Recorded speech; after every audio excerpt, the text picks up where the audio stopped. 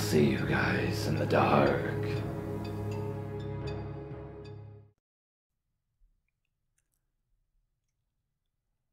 I'm a 26 year old woman who has lived in Alaska my whole life.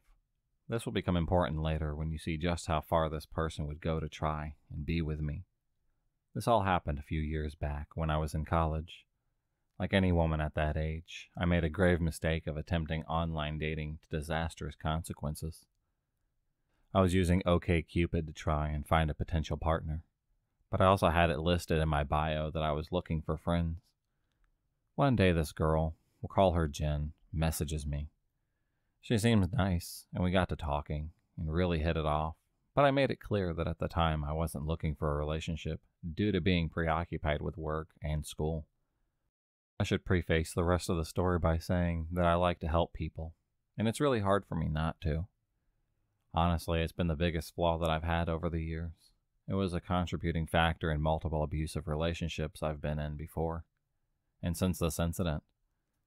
Anyway, the result of this has been that I tend to drain myself to try and help others, and it attracts unsavory and unstable people. We started going into conversations about our various interests, and eventually we stumbled across gaming as a mutual one. Jen suggested that we play this new game, Ark Survival Evolved. Cursed ruin of a game that wasn't very well optimized for any system. To be honest, it was an absolute dumpster fire of a game, but at the time I thought a lot of potential. So I spent countless hours making various bases and trading dinosaurs, getting to the whole bit of brave explorer of a new world kind of thing. Jen and I spent a lot of time in the multiplayer building things, and training dinos, talking, and having a good time. During this time, she opened up to me about a lot of the abuse that she had suffered from the past relationships, and from a family that didn't accept her being gay.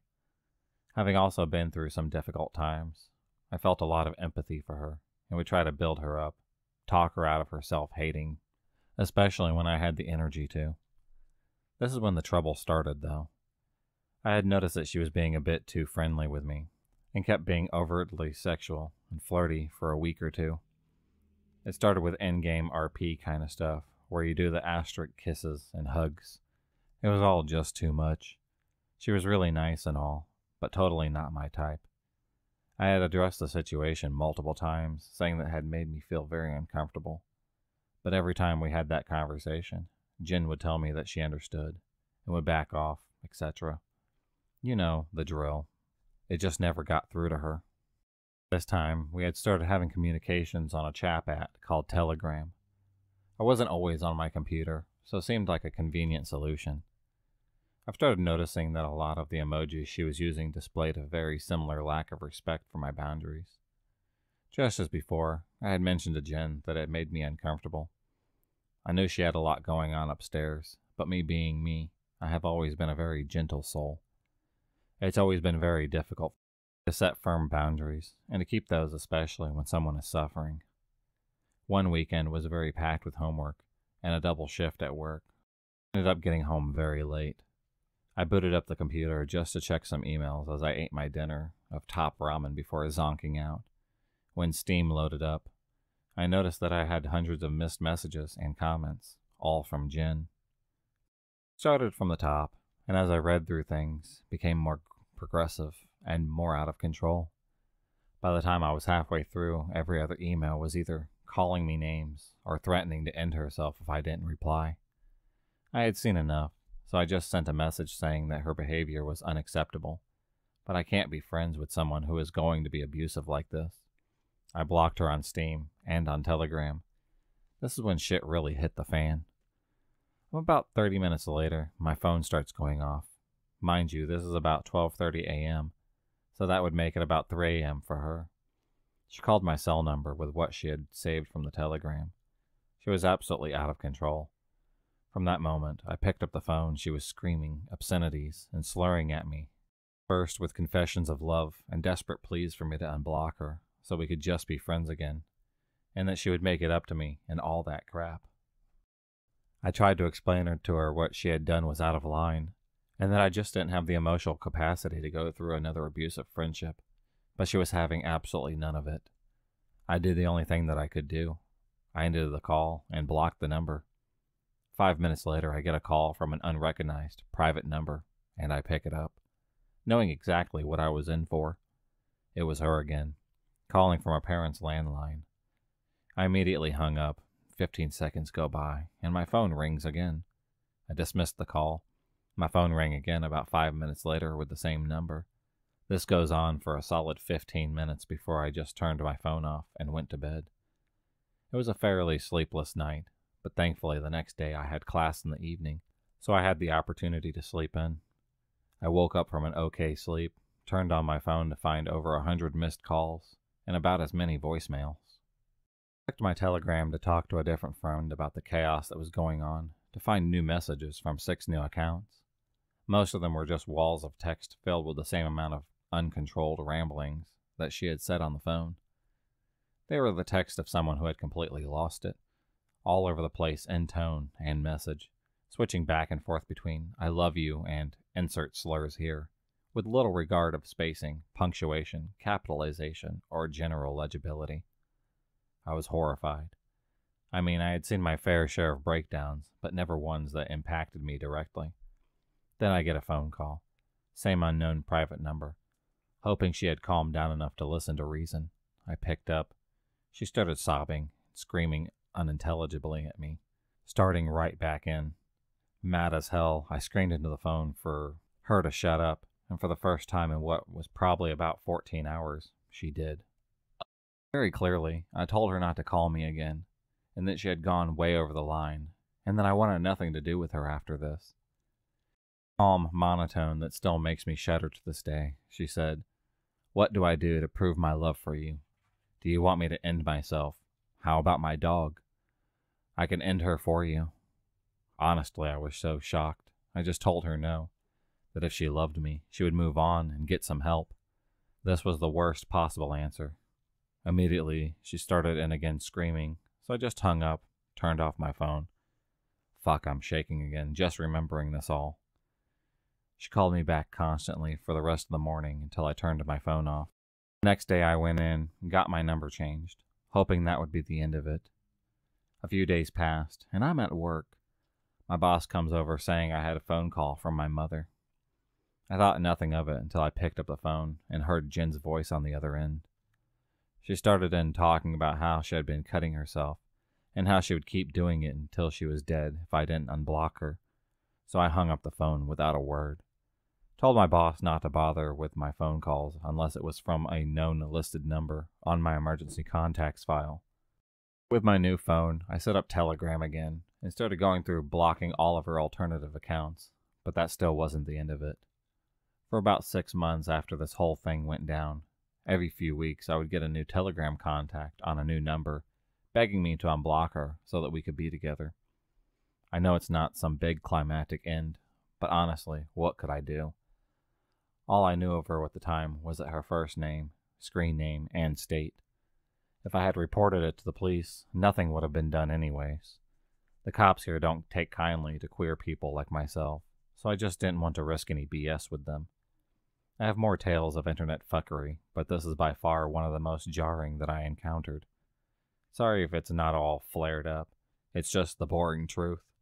Oh, and to Jen, the out of control lesbian from Ark Survival Evolved. I hope you've gotten help, but please, never contact me again.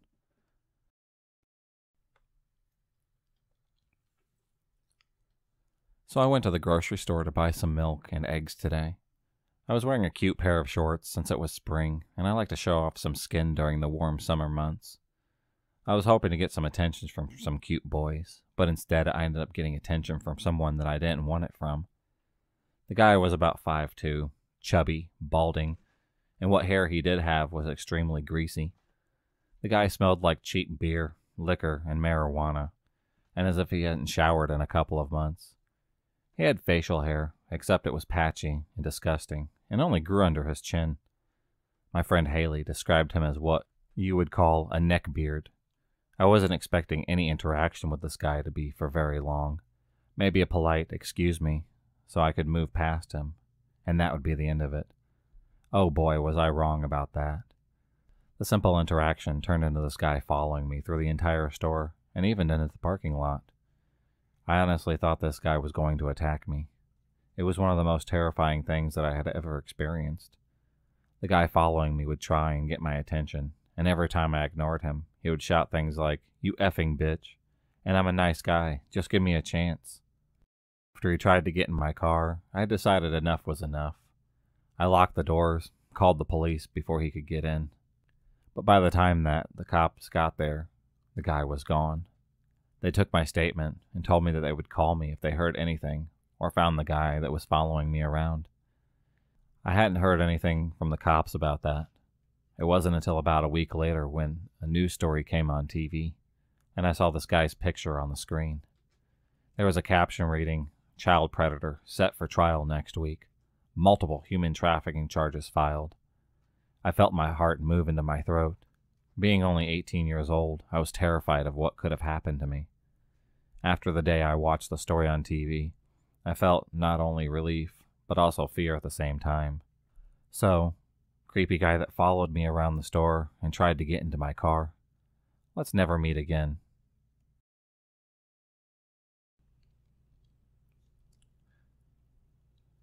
My story begins years ago when I was married to my first husband. Well, me and my first husband were going in different directions, but during this time, we were still friends. I did mention to him that it might be best if we just got a divorce. I'm not saying I was an angel because I wasn't. I had a one night stand with a guy who turned out to be another stalker, but I digress. So, I knew of a group of people from work who loved to party. And we were all in our early 30s, so why not? At that time, I used to have the biggest crush on this guy, Craig. He was funny and from Boston with this cute little accent. We both worked in D.C. and were federal employees. At this time, too, I lived with a roommate, Dina, and she lived with my husband, Jay, and myself. Although I still loved Jay, me and him grew apart, and he never wanted to spend time with me or my friends. Because of this, I spent a lot of time with friends and coworkers and my infatuation with Craig grew. And I remember one of my coworkers telling me that I had a crush on him. One time, he invited me and my roommate to watch the fireworks in D.C. from his apartment complex in Virginia. We both went, and the entire time he was trying to grab my butt. It was odd because he acted like he hated me before and loved to humiliate me, but this time it was different, so I just let it go. Fast forward a couple of years. My roommate moved away back to New Mexico, her home state, and I stayed in Virginia and was still living with my husband, but now we no longer had the buffer of the roommate. And it was obvious that we were incompatible. I felt trapped in the marriage and like a slut wanted to have another affair. Except the guilt would kill me, so I would get in situations where I was about to leap, but I never did. So one day, I got a text from Craig. Him and the gang were meeting at a local bar and asked if I wanted to come. I thought it was odd because after my roommate left, they rarely ever invited me to bars, but I went anyways. When I got there, there were all these people I knew from work there, and I felt comfortable, and Craig asked me to join him. All of us were at the pool table taking turns and drinking. Craig had such a funny way about him and could make anyone laugh, so that day was no different. He had me rolling on the floor. Little by little, people left until there was only about three couples there, and me and Craig. Craig got a small table and kept buying me drinks. He got behind me and was hugging me and kissing my neck. It felt strange to do this at the bar because all those people knew I was married. We kissed and held hands. He said I was the most beautiful woman in the world to him. It had been so long since a man had looked at me like that. I did not object and just went with the flow. Eventually, my conscience got the best of me, and I left. The next couple of weeks, Craig would show up at my desk, play pranks on me, and it was usually something stupid like reprogramming my keyboard, or once he put up police tape all over my desk because I had borrowed his hole punch and not returned it, so it looked like a crime scene. It was so funny and cute. I did stuff to him too. Me being Mexican, showed him a cascarón egg, and when he asked me, What do you do with that thing? I told him. Come here and I'll show you. And then smashed it on his head. Boy, did I pay for that one. Okay, Craig calls me again and says the gang was getting together again that night and asked if I wanted to join them. I was going to the gym that night and would be all sweaty, so I told them no, maybe some other time. He kept asking, and I finally gave in. After the gym, I went to the bar to meet up with the gang. When I got there, I found out that me and him were the only ones there. I asked him, Where is everyone else? I knew if I told you that it would only be me and you, you would not come, so I just lied to you. I was a little upset about it, but not enough to think twice as to why he had set it up like this. I still had the crush on him after all. So we played pool, stayed there quite late. After many drinks, I was way too drunk to drive. He lived down the road, and I lived like 20 to 25 minutes away. He said, Come to my house so that we can sober up with some coffee. I agreed. I followed him. Now I know what some of you were thinking. This was stupid.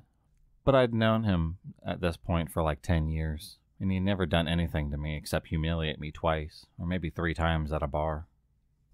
Inside his apartment, he started a pot of coffee, and then he put some music on.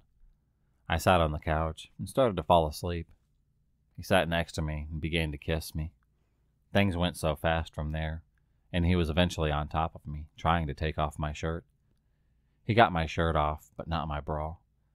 So he pushed that up and began to bite me everywhere. And he went wild and began to tug at my jeans, but I kept telling him no.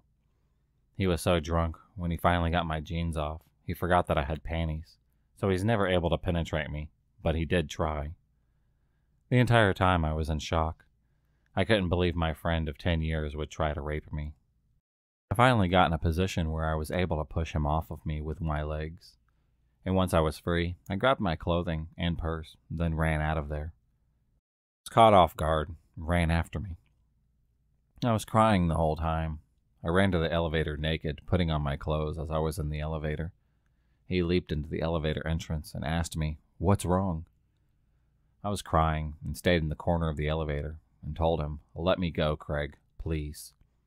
He backed away from the elevator and said, Okay, I won't hurt you. Then the door closed. When I got home, my humiliation was complete.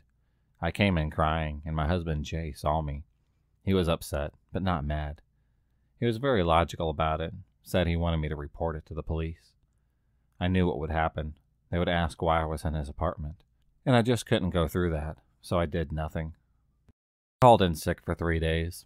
I had bite marks all of my neck on my, my breasts, my legs, my stomach. I had bruises on my arms and inner thighs. I knew eventually I would have to go back to work. I covered the marks that were visible with makeup, but still it was humiliating to have to come in at all. I hung the shame of it all every day I came in after that incident for a couple of weeks. The first day at work, I should mention he sat on the other side of the partition from me. I was in a high state of panic and anxiety. He shows up at my cubicle worried. He asked me, I thought you were deadly sick or something. I'm glad you are back. Can we talk in private? I turned my back on him and told him that I wasn't up to that just yet. It went like this for about three to four months. He finally corners me one time in the bathroom, and he's making a scene in front of other employees. Says, do you want me not to bother you then? I tell him yes, don't bother me. During this break, I had to travel for my job for three months, and he traveled too, maybe about three to four months for his job. During the travel period, I moved out of the apartment I had with my husband and asked him for the divorce. I bought a new vehicle. I let Jay keep the old car and any furnishings that he wanted. I needed the break to clear my head. I called around during that time, found a roommate who lived in Maryland.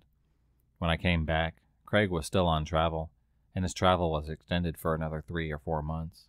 And I don't let grass grow under my feet. I started a date again, found a guy who I liked, and began a serious relationship with Nathan. Craig came back. He was real angry. He knew that me and my husband had filed for divorce, but I'd started seeing another man. He called me at home one time and asked me, Why are you doing this to us? I pretended like I didn't know what he was talking about. I told him there is no us. He got real sad, said, What do you want me to do then? I told him, Just date other people. He asked me, Will this make you happy? I replied, Yes. I introduced him to a friend of Nathan's. She was cute, but a handful. She calls me up one day to tell me that he is moving in with her to Maryland. I was glad, but it didn't make any sense. He hated Maryland He called me later that night and said, Okay, I have a girlfriend. Now what? I didn't understand him. I don't know, Craig. Get to know her better. Move on. He tells me, Kayla, I have to talk to you. I didn't know what happened that night. I would just get panicky and tell him no. Almost daily, he would call me to complain about Patsy and say that he wanted to see me again. I would not tell him where I lived, but he eventually got my apartment phone number and would call that if he couldn't contact me via cell phone. Him and my friend dated, and then I would get calls from her and him about the relationship not working. So I was the mediator. She would call me to tell me that he was being a total jerk, and he would call me to tell me that he missed me and didn't like Patsy. I kept telling them to keep trying. I finally got a call from her. She is crying, saying that Craig was leaving her. He was moving out, and she couldn't stop him. They had only been together like two or three months. I called up Craig and asked him what was going on. He told me that she's crazy. I can't live with her, not even for you. I'm done. I was mad at him. Craig, you promised to try this time. He said, Why can't we be like it was? I would never let him finish, and he said, I need to talk to you, Kayla, please. Some time passes, maybe like three months or so. Patsy's still upset about Craig. She asked me to call him up and find out if we can all meet up at a bar in Virginia, where he was living yet again. I called him up, he says, Are you coming too? I said, Yes, of course. He continued, I'll do it if you promise me you will talk to me about that night. I agreed, but I told him, But you need to promise me that you will be nice to Patsy and show her a good time. He promised me. Put up at this bar. I came in with Nathan in tow, and Craig was pissed off about that. He showed it by saying, You didn't tell me that you were bringing him. I said, Well, you never asked. So we all sat there in silence. After about 30 minutes, Craig pulls on my arm and says, You promised me a talk. I tugged my hand back and said, You promised me you would be charming. And suddenly he was the most charming guy in the room. He had everyone laughing, and it was just a hoot. About 30 minutes go by. He tugs on my hand and says, Okay. I kept my side of the bargain. Now let's have that talk. I told everyone that we would be back. We went outside, and as soon as he had me alone outside, he had me pinned to the wall with both hands on either side of my head. He says, You owe me an explanation of the day that you ran out on me. Him talking to me so close to me brought all the pain and humiliation back to me. I said, Craig, you know what happened. He said, Kayla, you know how I feel about you. I told him, Stop it. You know I'm still married. You know I told you that I was trying to save my marriage. When I came home that night after seeing you, Jay saw all those bite marks and bruises on me, and he wanted me to call the police on you. I wouldn't do it because I felt loyalty towards you, and I couldn't believe that you had done that to me. He leaned into me. What did I do? I began to cry and said, You tried to rape me. He was truly shocked and said, No, I would never hurt you. I love you. I have loved you for so very long. Everyone we hung out with knew that I loved you, but I knew you were married, so I waited. And then I heard from your roommate that you and Jay had talked about splitting up. I thought that your marriage was over. I told him it could have been so different if you hadn't done that. Now I can't let my guard down with you. I can't trust you. You become this mean, spiteful person when you drink. He began to cry. But I love you so much.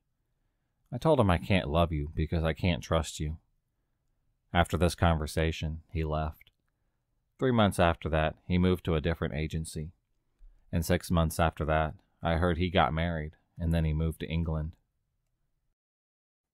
If you enjoyed this video, please subscribe, like, and hit the bell for notifications on future videos, and become a stalker of the night.